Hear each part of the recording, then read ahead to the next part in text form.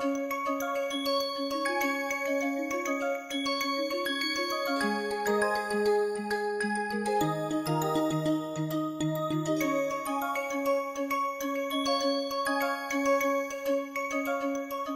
was talking about the sedimentation analysis in the previous lecture and this is where I went very fast all right.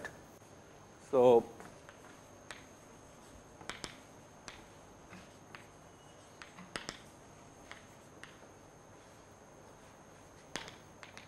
whatever you do in the lab if you can tell me that this has already been done in the lab I can skip that portion. So, I can save time all right or I can modulate it in such a manner that uh, I can do justice with the course as well as the time. So, I am sure you are doing these experiments in the lab. So, I need not to discuss much.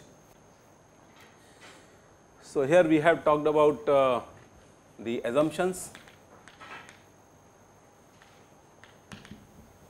all right and uh, then we were deriving uh, a relationship based on the fact that uh, you know in hydrometer test what happens is you take W weight of the soil and put it in the V volume. And you use a hydrometer here. And normally at this point you know we measure the density of suspension and uh, this is treated as L. The length time is known because you must have done these experiments I am sure in the lab. You have done or not? You have done? Half of the batch okay. So, every subsequent time you keep on finding out the readings which are depicted as hydrometer reading as R. Normally R increases from 0 to some number depending upon the type of hydrometer you are using. I have talked about the corrections which are applied for hydrometer readings. Uh, that is the meniscus, the application of uh, you know corrections for dispersing agent. And I have also talked about the displacement of fluid because of the hydrometer. So, these are the three corrections which you normally apply. Temperature correction, meniscus correction and displacement of fluid because of the hydrometer. Some of them are additive, some of them are negative and then you apply and get the readings. Uh, this is what the philosophy of the whole test is. Now, what you should be doing is, uh, see it is a very interesting uh, application in most of these production engineering related jobs, where you are working with slurry particularly those of you who might apply for uh, a position with the hydrocarbon industry, drilling fluids, all right, oil and uh, natural gas, hydrocarbons and all those things. So, normally they do this type of work where they talk about the density of the slurry and uh, what you should be proving is if I want to find out the unit weight of the slurry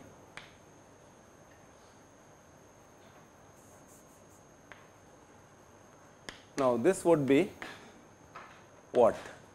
I can measure the unit weight of slurry by using a hydrometer or I can find out the total volume of the solids which I have used plus volume of water. and I can assume that the total volume of the system is unity. And based on this I can derive uh, the total unit weight would be W upon V. And this W upon V would be having components as volume of solids. I think you can compute this would be W upon V over G into gamma W. Is this okay this correct nice and then have you have the volume of water. So, 1 minus volume of water would be equal to this term. Now, how would you compute the volume of water? That is a big question, is it not? So, volume of water I can compute either if I take this on this side. So, this will be 1 minus this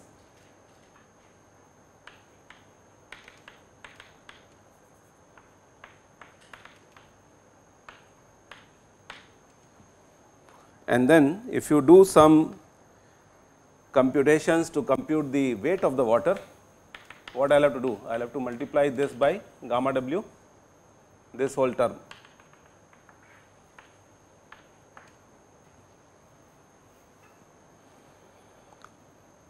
Now, when we do with deal with the hydrometer, the concept here is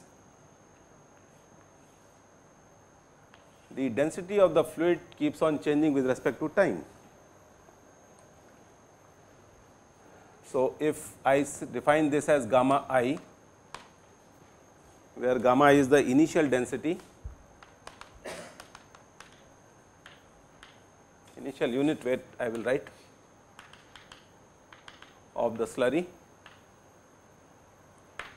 And remember if I am using a hydrometer, I am getting the value of gamma slurry corresponding to this point. So, this I can measure, this I can compute, I can do both the things.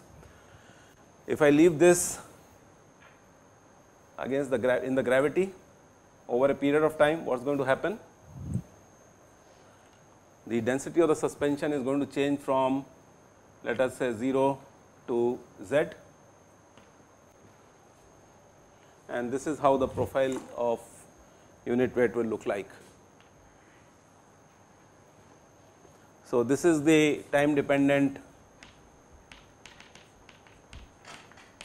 unit weight of the slurry. So, if I go back to the calculation which I was doing over here and if I say gamma i equal to try to prove this once you have these expressions you can define this as w upon v g minus 1 over g.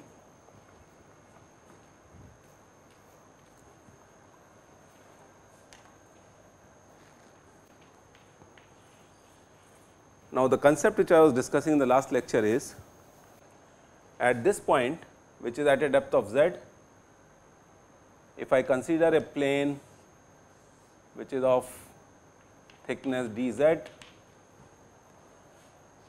Now, what hydrometer is going to do is it is going to give the density of the slurry at this point. So, what I am assuming or what in physical sense is correct is that all the particles which are finer than d fraction okay, less than d size, d is the particle size, they will not be present in this column of water.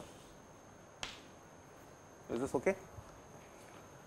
So, because of the settlement or because of sedimentation process, when the gamma is changing from here to here the particle less than d size will not be available all right. Now, we call this as a percentage finer than.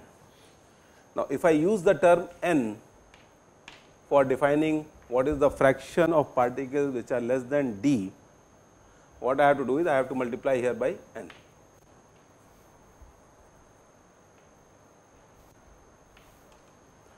because n into w takes care of the percentage of the particles which are finer than d and these this d if you remember is a function of critical velocity or terminal velocity. All right. I can also use a function that v can be defined as L by T if required. So, gamma i at an instant would be equal to gamma z because this is what you are measuring at this point all right. Gamma z minus gamma w is sometimes defined as r. Now, R is the hydrometer reading.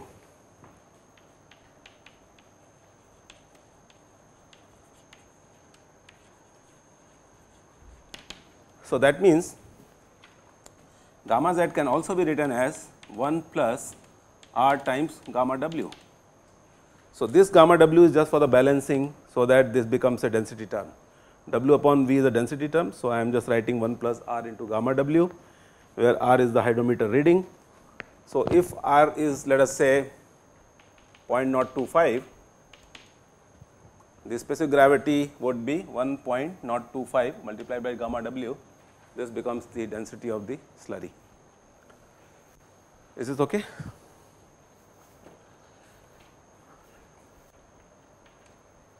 Is this fine? You must have done this in the lab. I can prove from here that n equal to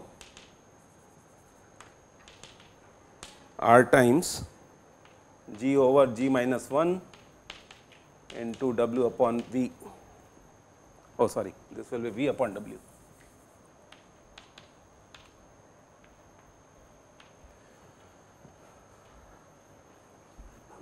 spend half an hour whenever you get time try to prove all these functions and see whether you can derive this or not.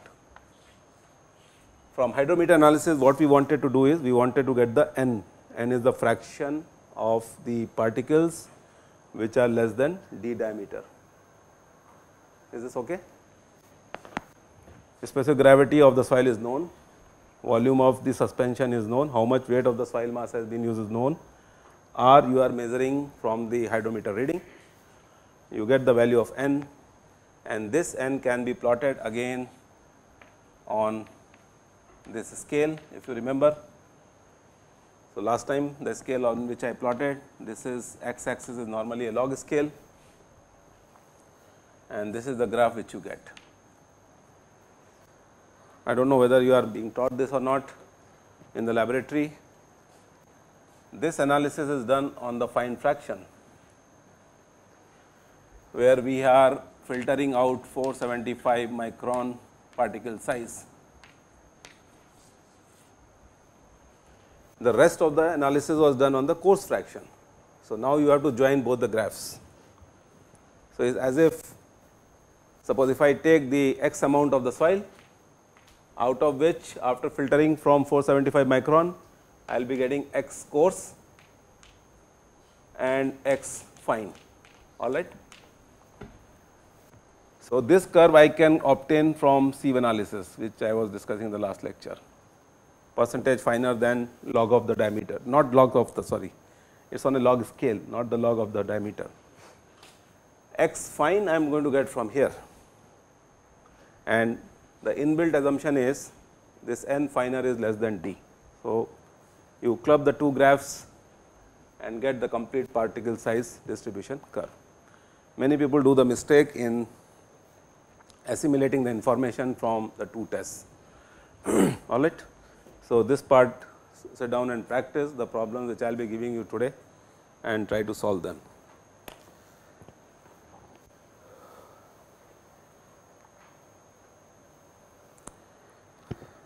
How many of you following uh, a book on soil mechanics? Very good. Which one? Excellent. So, what are problems which are solved there, at least solve them. There are a lot of example problems they have given and uh, try to be conversant with this. Any questions here? Yes, please. Sorry? that expression of V solution. With this one? Yeah, above. Yeah? Yeah, Yeah. V solution. How You know, weight volume of the solids can be computed. This much is the W upon V and what about this G into W? This is the unit weight of the total suspension and G into gamma W is the density of the solids which are present. So, this is how I am getting the solids. total suspension means Total suspension volume will be unity say 1000 cc. So, volume of solids plus volume of water. How will you compute the volume of solids? So, if I know the total weight of the soil which I have added in certain volume V divided by G into gamma W. So, this is the component which gives you the dry component of the solids which are in the suspension form. So, this becomes the solids. So, and hence you can compute 1 minus gamma w equal to this or V w will be this expression. Weight of water I can compute by using multiplying this system by gamma w. So, this becomes the weight of the water. That V is the Total volume. total. Yeah, total volume of the cylinder in which you have taken the suspension. So, normally what you do is you take 50 gram of the soil in 1000 cc. So, this V becomes 1000 cc.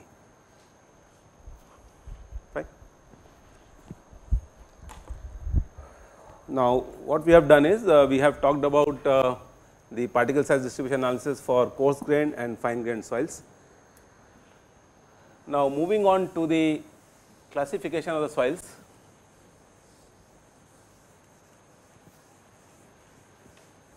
Yeah. Oh, hydrometer reading is, I will tell you. These are the graduations on the hydrometer stem. So, if you go to the lab next time and when you perform these experiments, you will observe that if the hydrometer is like this, this is the stem of the hydrometer and this is the body of the hydrometer all right and then the bottom motion is filled up with lead balls.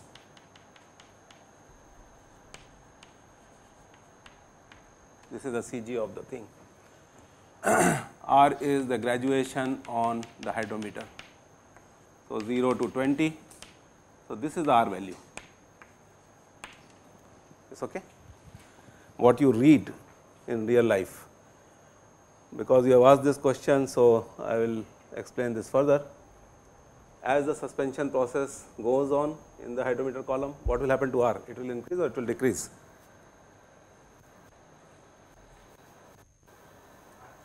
Sorry? Think again. Look at this density distribution. So, when you started with a initial density of gamma i and then you left the cylinder for settlement, what is going to happen? All the particles are settling down.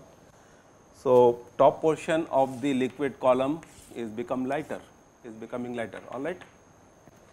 So, if this becomes lighter, what happens to R? It goes up, all right. So, R equal to 0 will indicate 1 into gamma W is the gamma I is the unit weight of water. It's okay.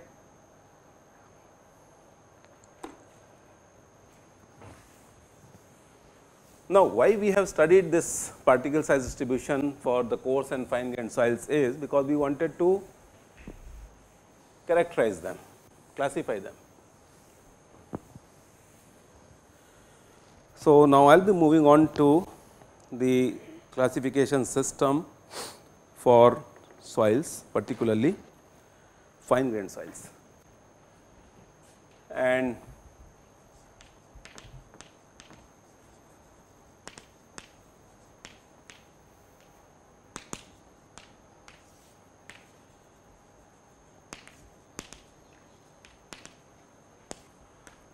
what we do normally is we use the term known as Atterberg limit.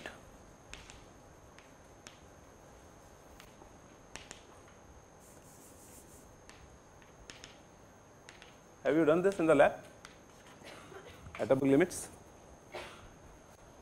Not yet. We talk about several indices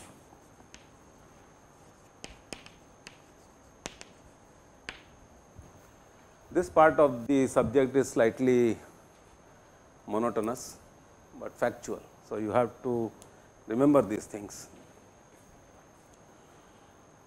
You see as I said in the first lecture or second lecture, soil is something uh, which changes its characteristics when it comes in contact with water.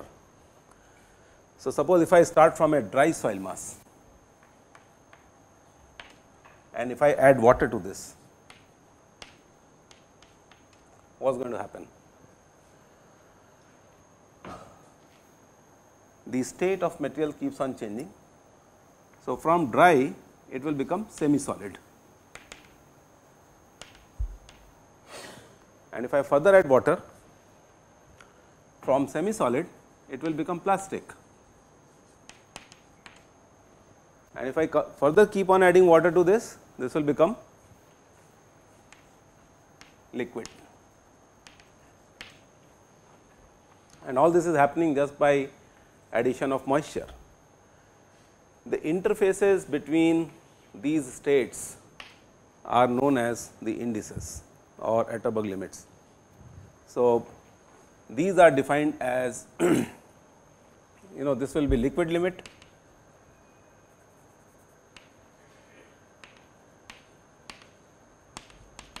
In other words, this is the minimum amount of water which is present in the system when the soil just starts behaving like liquid. All right. This is what is known as uh, plastic limit. Those of you who are good in making clay potteries or artifacts normally use this concept of keeping these indices intact unknowingly. You are good at making artifacts? Who is good? So, you take dry soil and start adding water. So, state of the material keeps on changing all right and this is what is known as shrinkage limit.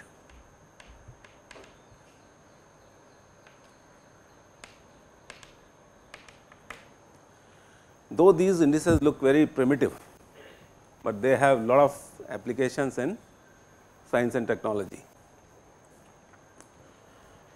In the second course when I will be teaching what we will be talking about the shear strength.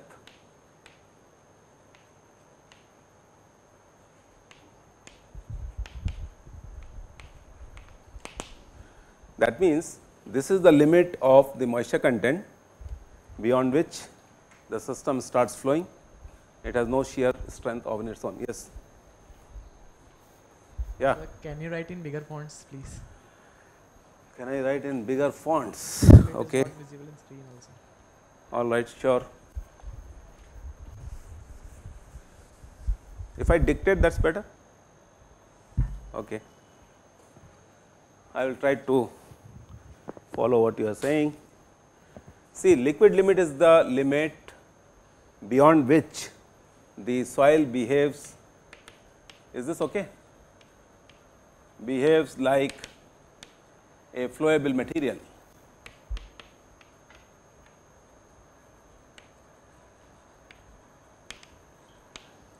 That means the minimum possible shear strength.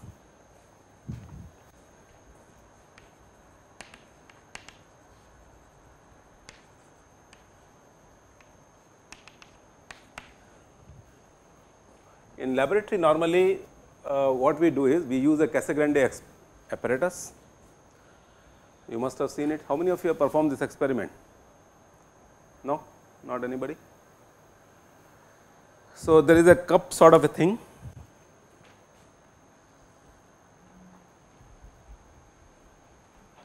and there is a flat platform.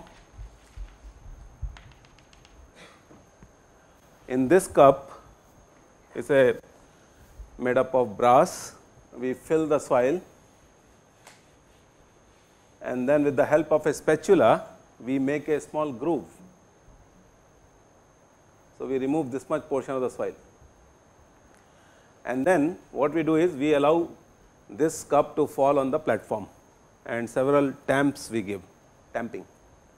Now, because of the tamping process what happens is these two cleavages which have got created, they tend to get filled up.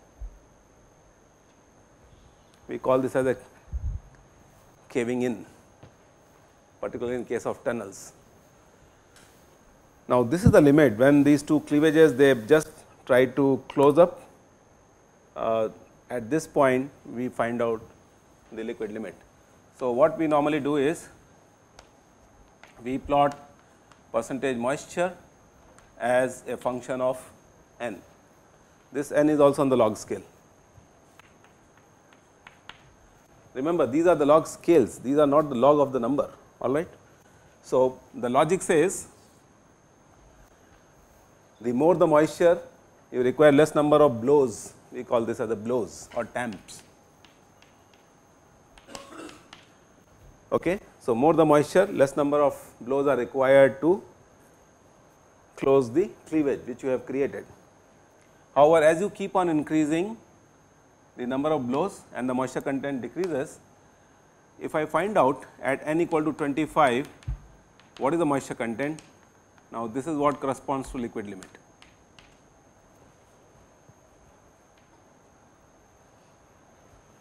All right. This is one way to characterize the soil. These are ancient ways of classification, but they are still valid and people are using them and uh, these are just like Brahma Vakyas. You have to follow it if you have to classify. So, we have obtained the liquid limit. Normally, we define liquid limit as WL. Sometimes we write it as LL also. So, this is the liquid state of the material. The next state is the plastic limit. What we do is uh, take the soil, add water and roll it on a this is a plate made up of glass, glass sheet.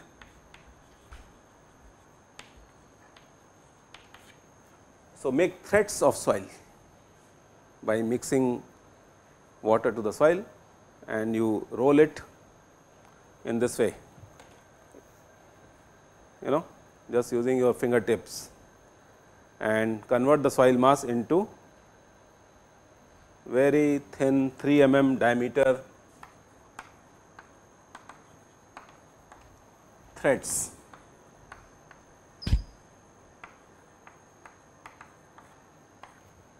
The logic behind using your fingers for remolding this to this state is your body has some heat.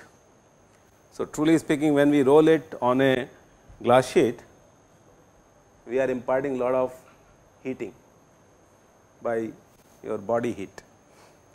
And at the same time we are trying to convert this material into a thread. So, this is the plasticity, how plastic the material is clear.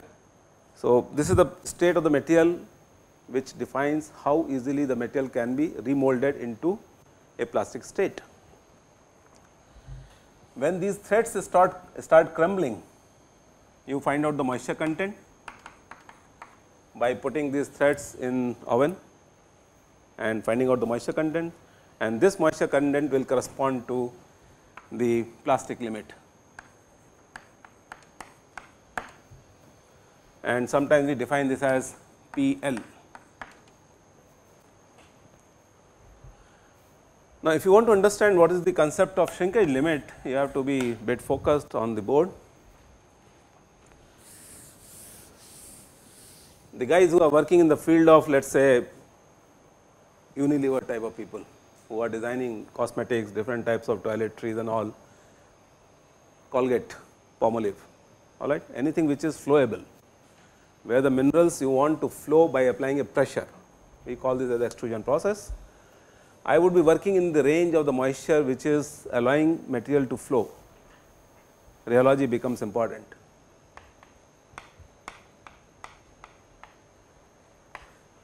So, those of you who might get a chance to work in the field of let us say dredging industry, where you want to create artificial islands and you want to create a paste of the soil and you want to throw it, all right, the way you do uh, paintings on the wall that is also a good example of rheology of paints and varnishes.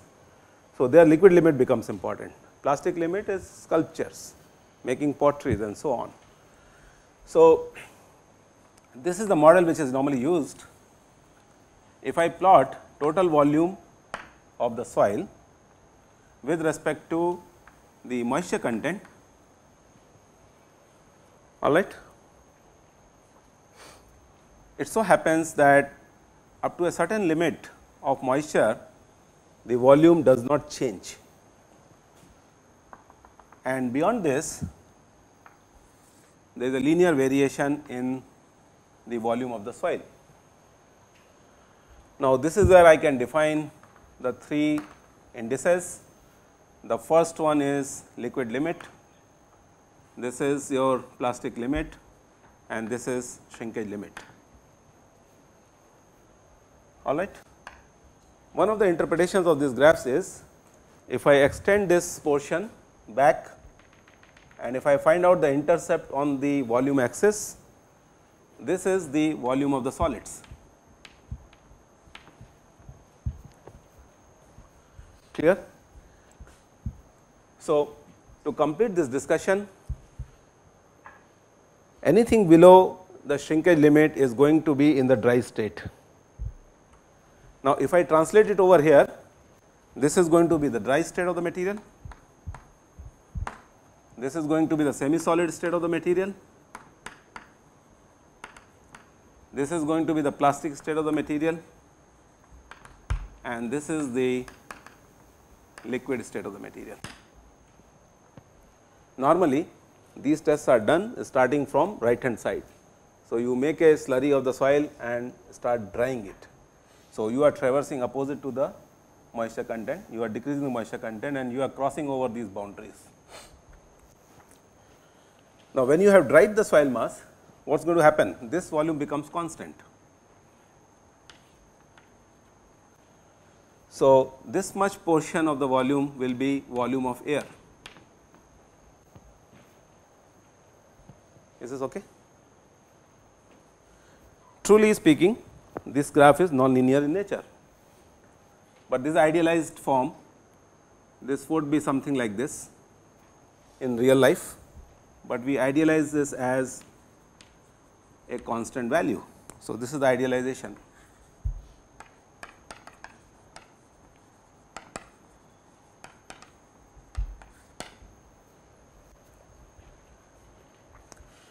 So, I have to define the shrinkage limit also. So, shrinkage limit is normally defined as S L and this is the moisture content as S L or W S you may write. This is a very interesting parameter which talks about the drying process of the soil and this is the state of the material where the soil remains saturated. This is the minimum moisture content present in the soil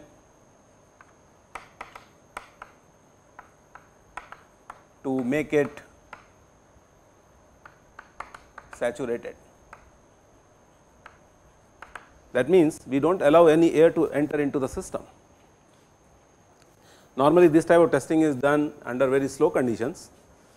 We start from here, take a pat, make a slurry of the soil and normally we do not oven heat it, we keep it for air drying and sometimes once I have crossed the limit of the plasticity, I will keep it on the top of the oven, so that it gets heated up slowly fine. So, these are the moisture contents which become benchmark moisture contents. So, truly speaking what we are doing is we are doing benchmarking of the soil mass.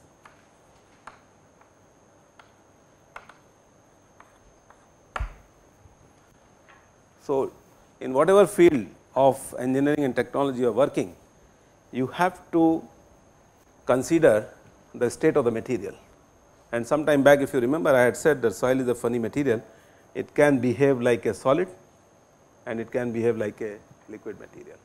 So, both the laws are valid, I can use solids mechanics, I can use fluid mechanics to model the state of the material. Is this okay? Any questions? Now, what you have to do is you have to remember few things.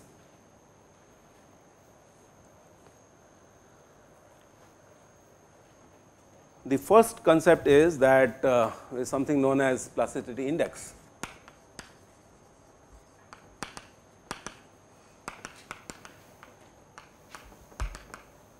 We call it as a PI, this is liquid limit minus plastic limit.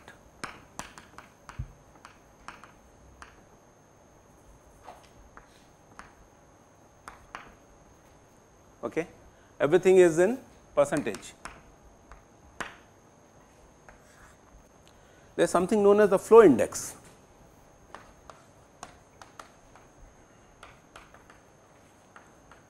I hope you will realize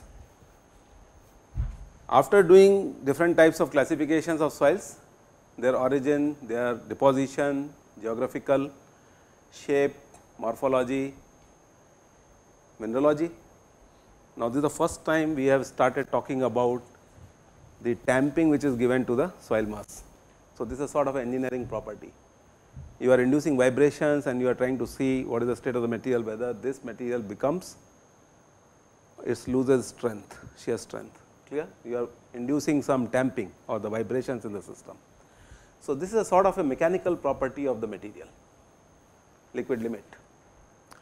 Here also you must have noticed in plastic limit I was telling you that make take soil and roll it into threads. So, you are allowing deformations, very gentle deformation and heating from your fingers. Shrinkage limit. So, shrinkage limit is the one where the volume remains constant, there is no loss of moisture, soil remains saturated fully, no air enters into the pores. So, these are the basic assumptions which we use for defining the whole thing all right. So, the slope of this line is known as plasticity sorry uh, flow index.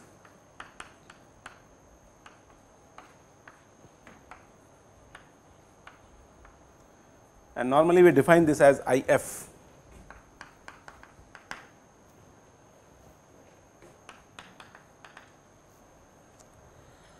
all right.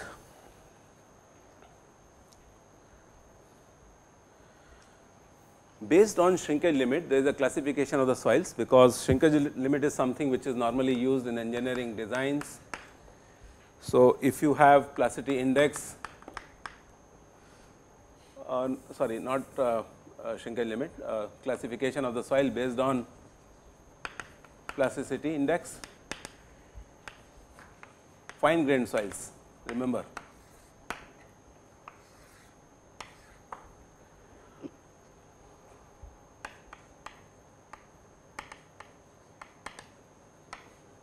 So, if it is 0, this is non-plastic,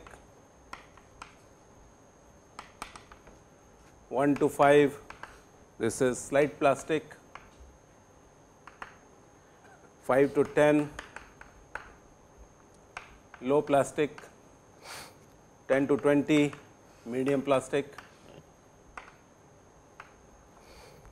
20 to 40 high plastic and greater than 40 it is a highly plastic material.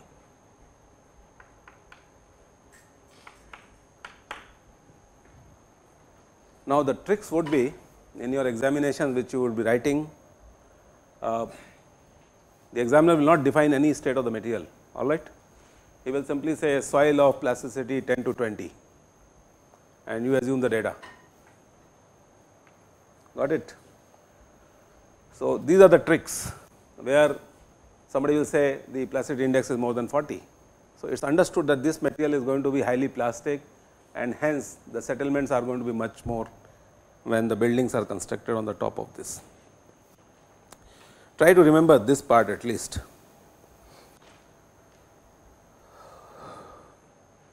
Now, the question is about the shrinkage limit.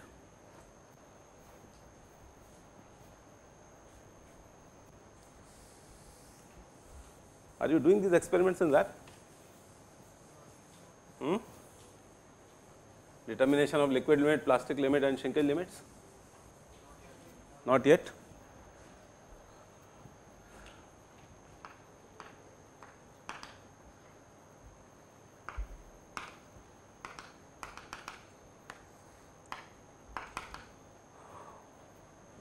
Those of you who are very fascinated with THMC modeling, thermo-hydro-mechanical coupling and all those new new concepts which are coming up in the market right now, where the soil gets exposed to extreme heating conditions or extreme volumetric deformation because of air drying in a nuclear industry particularly.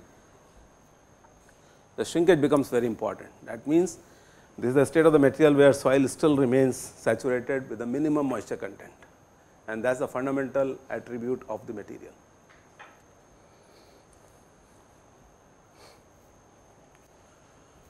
So, the models normally we use is uh, we have a two phase system, we have water, we have solids in the soils. Remember the soil is saturated. So, this is the plastic state of the material where saturation is 100 percent. V 1 is the volume of the soil mass, W 1 is its weight and W s is the weights of the solid. This W s should not be confused with this W s, this is the moisture content, shrinkage limit. So, this is the W s weight of the solids.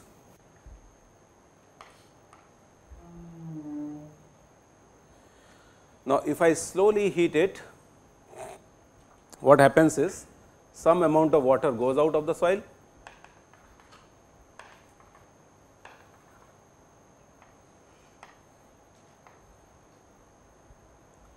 So, this portion becomes solids, volume does not change.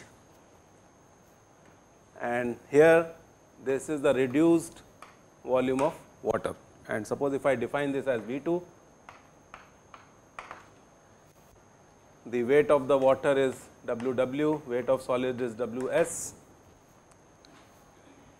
And if I further dry it, what is going to happen is that this phase system will get converted to solids and air, the volume remains constant as V 2. Okay? So, these are the solids.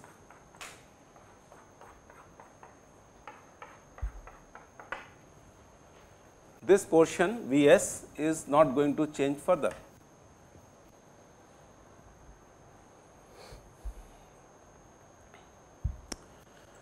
This is what we define as V dry.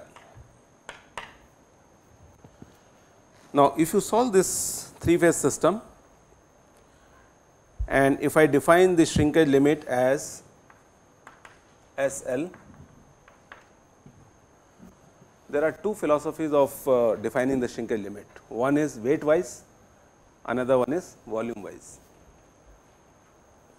Uh, I am sure in your laboratory they will ask you to use the mercury column, what is known as mercury displacement. So, you dry the soil mass, the dried portion you put it in the mercury dashpot, whatever volume of the mercury oozes out, measure it that is equal to the weight of the soil.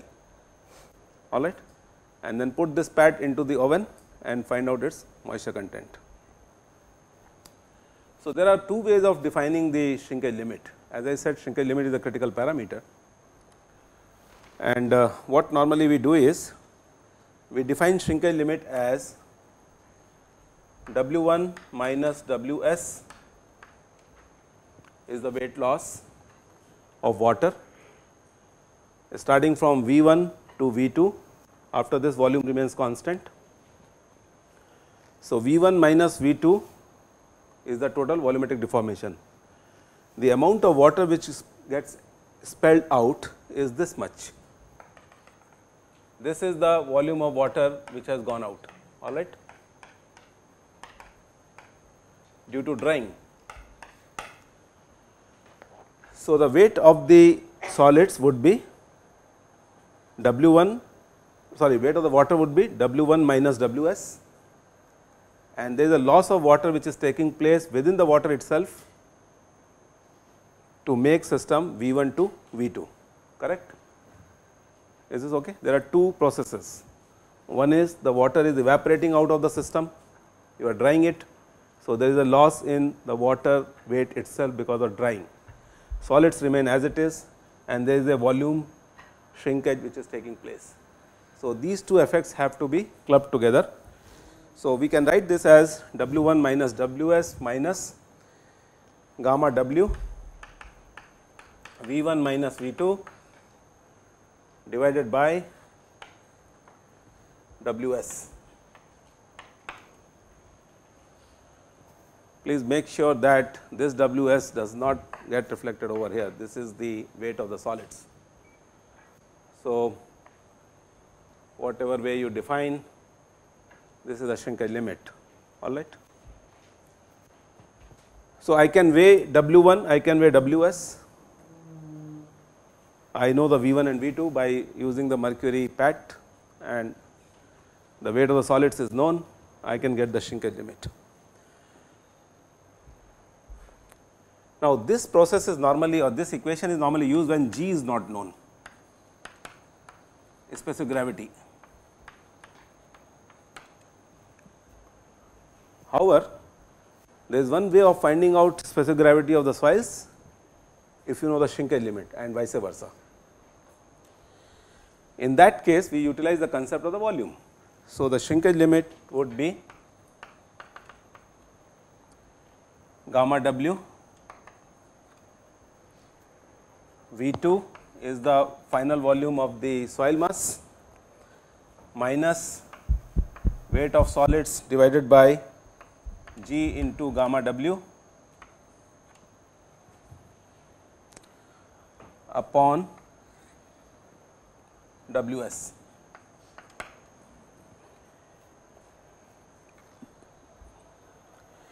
The way you would like to read it is final volume of V 2 and in this volume W s upon G gamma W is what?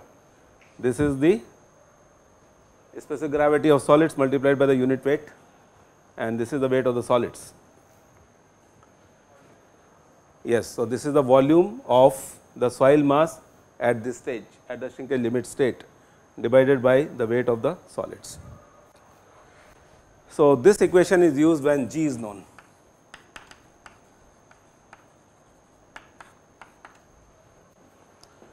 Mostly these equations are used for calibration of the G.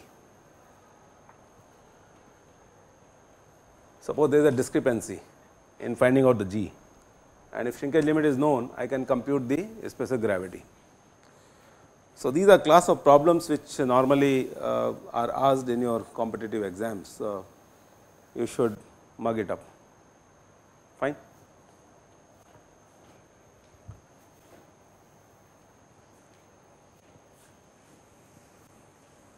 There is something known as shrinkage ratio.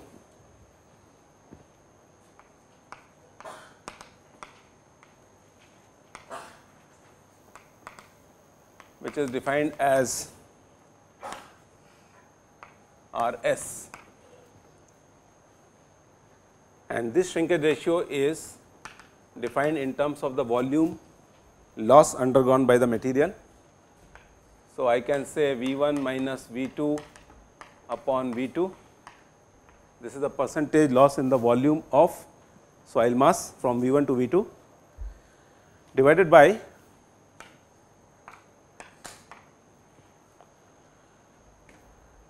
V 1 minus V 2 into gamma w upon weight of solids at this stage.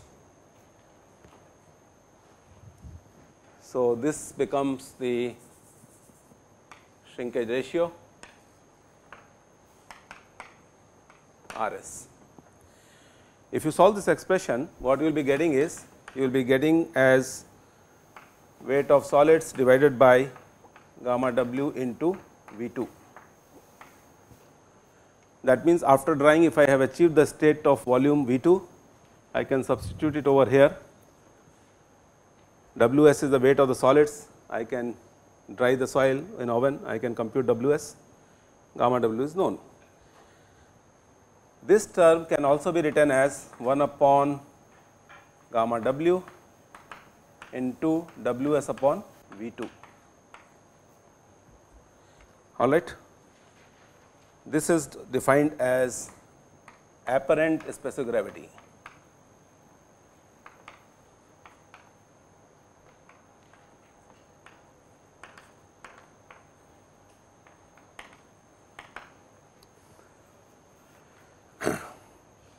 Weight upon volume is a density term and this is normalized by the unit weight of water. So, this becomes a apparent specific gravity of the soil. try to correlate G and R, you will love to do it. G can be written as 1 upon 1 upon R s minus shrinkage limit divided by 100.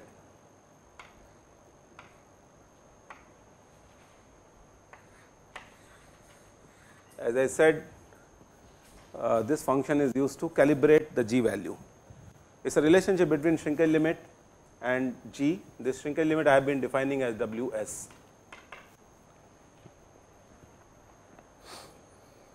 Hope you have enough mathematics now. Start solving these problems, you will become an expert. Is this okay?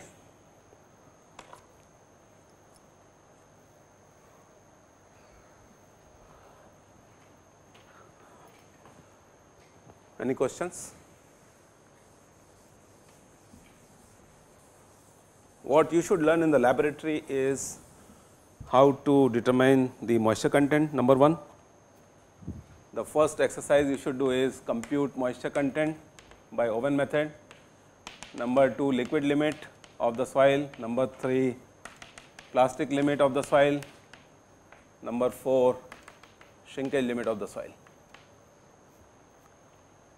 And when you are doing this matrix, you will come across the method which is also known as mercury displacement method.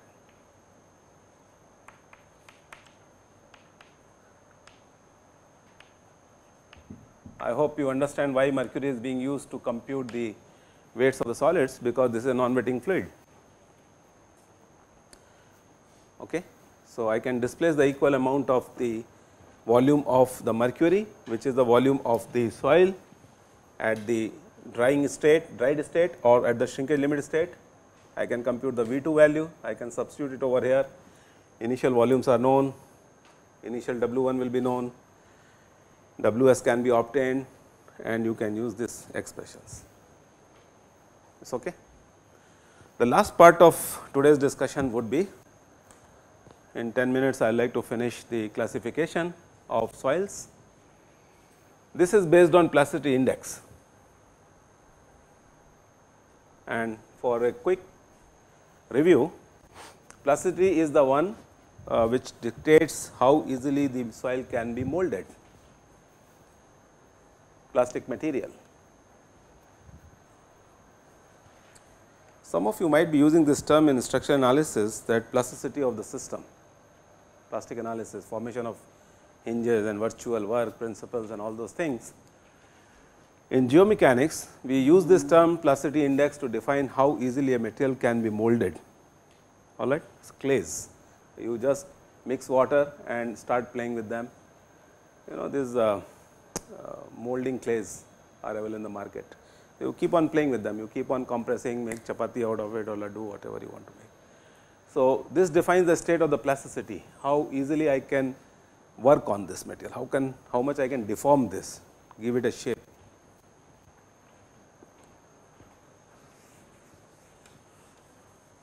So, what we have done until now is we have talked about the experiments which are done to characterize coarse grained materials and fine grained materials. All right.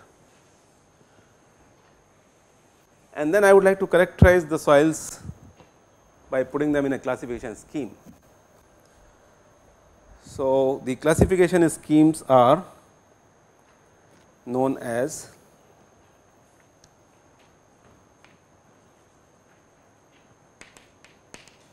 it is a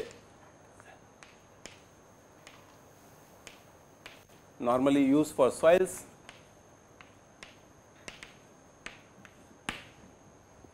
The first one is known as USCS, Unified Soil Classification System.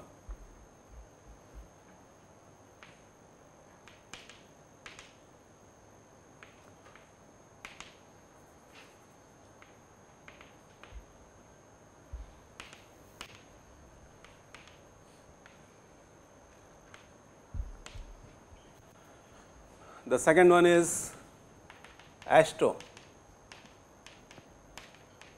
How many of you are doing transportation engineering course? All of you, third year. So, you must be aware of what is AASHTO, is it not? No? American Association of State Highway, State and Surface Transport Officials or organization officials. Fine. The third one is which is used in Indian context, we call it that ISSCS, Indian Standard Soil Classification System. Indian Standard Soil Classification System. All right. There is a small difference between USCS and ISSCS. We will discuss this today. The fourth one is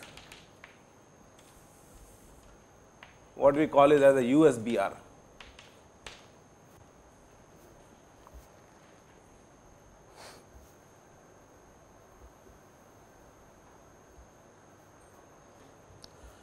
This is based on the texture of the soil.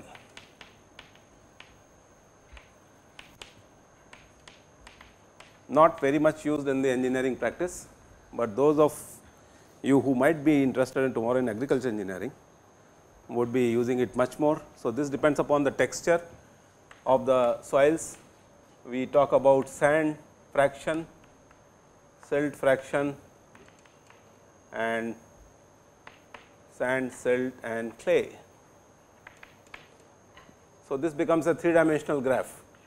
Hope you know how to check the three dimensional graphs, is it not?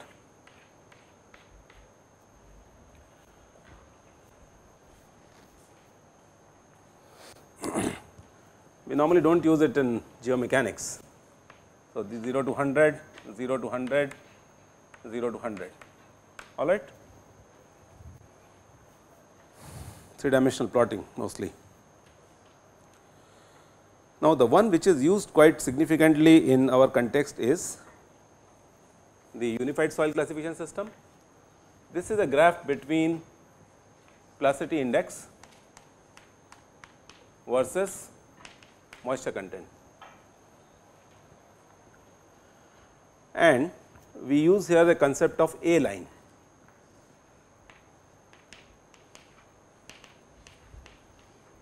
Now, A line is named after Arthur Casagrande.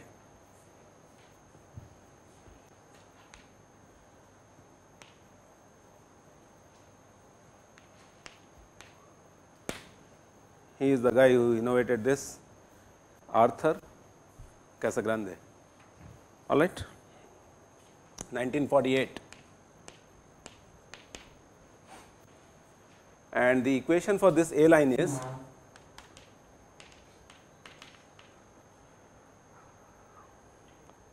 Zero point seven three liquid limit minus twenty percent. So, that means this line starts from there is a break over here I will show you. So, this starts from 20 percent. The significant part of this USCS technique or the classification scheme is here we consider two types of moisture contents. One is greater than 50 percent and another one is less than 50 percent.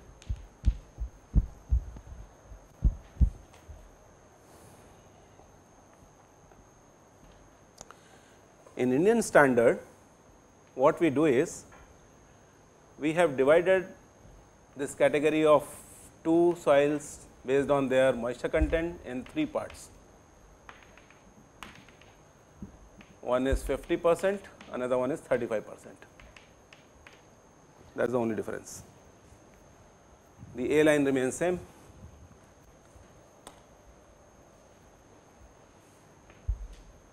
This is A line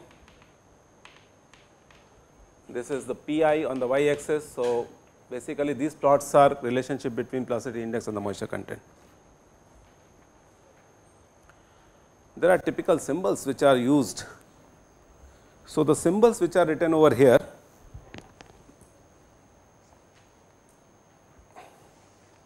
as per USCS classification, G is used for gravels, S is used for sand, M is used for silt. In Swedish language, uh, silt is known as mo and hence M is used. For clays, we use C. For organic matter, we used O and PT is used for peats. So, this is the nomenclature which is used. This is followed by the subgroup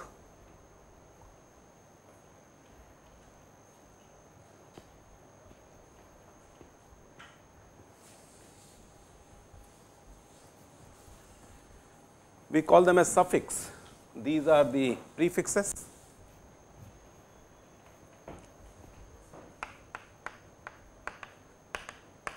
Prefix and the suffix would be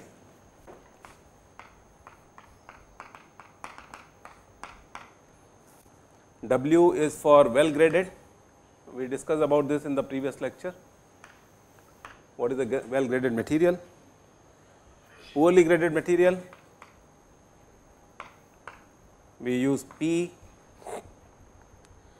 for silty soil, we use M. So, M is for silt as well as for the silty material. For clay material, we use C.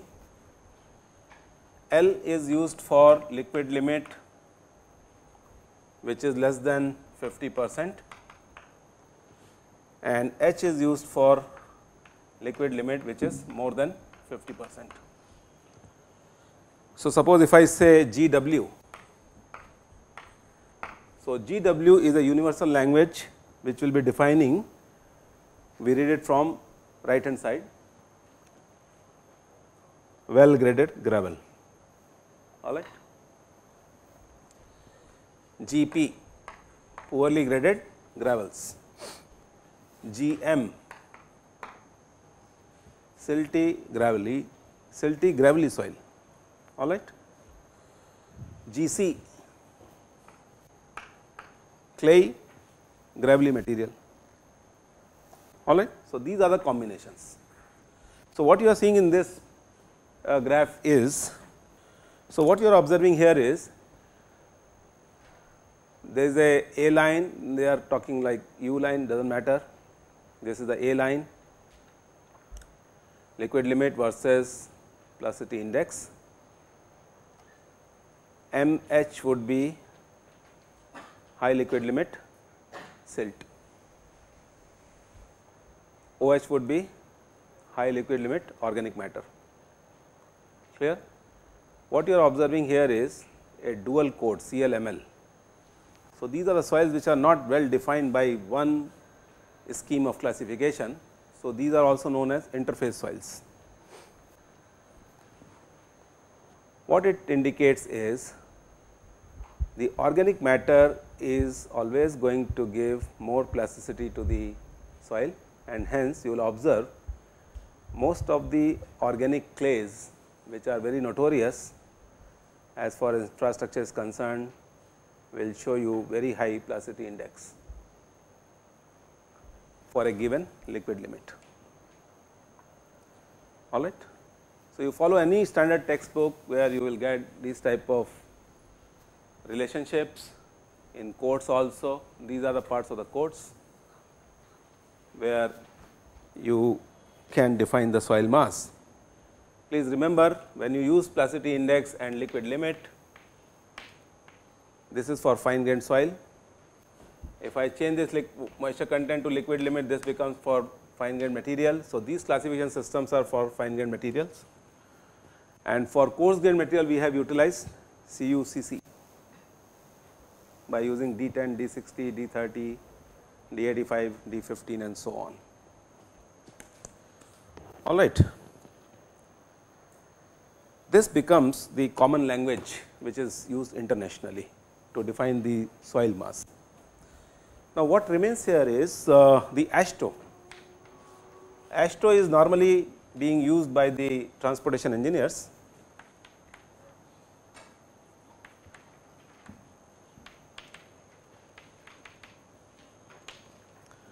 Very incomplete sort of a classification where they create a big index like uh, you know this is what is known as group index.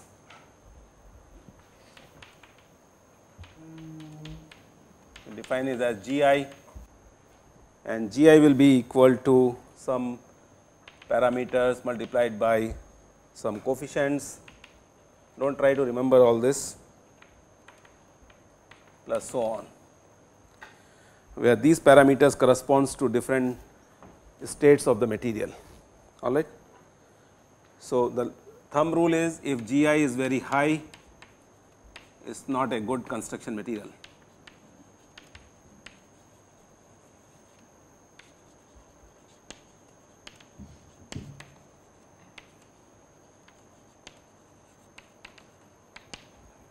So, what we will do now is with this discussion we are going to define our soils mostly based on ISSCS and sometimes based on USCS. So, when you do research and when you publish papers in international arena, so there ISSCS is not known much. So, mostly international researchers they use the USCS classification scheme plot plasticity index with liquid limit and then classify the soil. As far as Indian practices are concerned, we follow ISSCS where we differentiate between high liquid limit and low liquid limit. So, high liquid limit is 50 percent and low liquid limit is 35 percent. So, in this graph what I was showing you MSCH type of a system, uh, you know this soil will become low liquid limit organic matter, low liquid limit silt, high liquid limit organic matter CH. Now, tomorrow when you come across these terms as a practicing engineer you should be knowing how this material is going to behave. So, the moment MSCH comes in the picture a geotechnical engineer becomes quite happy. Why?